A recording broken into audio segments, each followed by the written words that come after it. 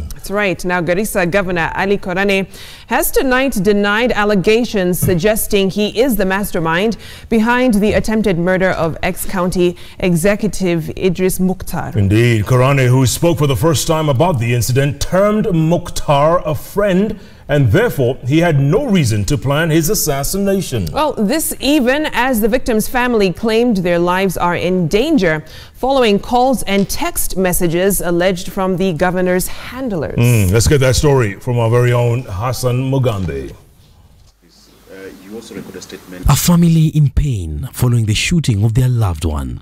Former Garissa Finance CEC Idris Mukhtar currently fighting for his life at an intensive care unit. His father Mukhtar Adan now fearing for the worst. As we are speaking now, as we are talking to the press, we, we are not sure we shall be safe. The family continues to point an accusing finger at Garissa Governor Ali Korane, who denies claims that he wanted to stop Mukhtar from challenging his election as governor on grounds that he had presented fake academic credentials to the IEBC during the 2017 general election. There are three men who are now interfering with the investigation. Whatever implication legally it has, it's not for me to explain. The actor, the aider, the abettor, the procurer and the counselor of a crime are all principal offenders and must be treated as such. Mimi sina sababu ya kuhusika na hiyo mambo, sitaweza kufaidika na hilo jambo kwa njia yoyote. Sikuwa na shida yote na huyu bwana ambaye amepigwa risasi. Mukhtar's lawyer Charles Kanjama revealing how he unknowingly served two of the alleged assassins sent to his office. How one of them even came to see me and, and uh, with, with some posing as a client with some kind of like consultation.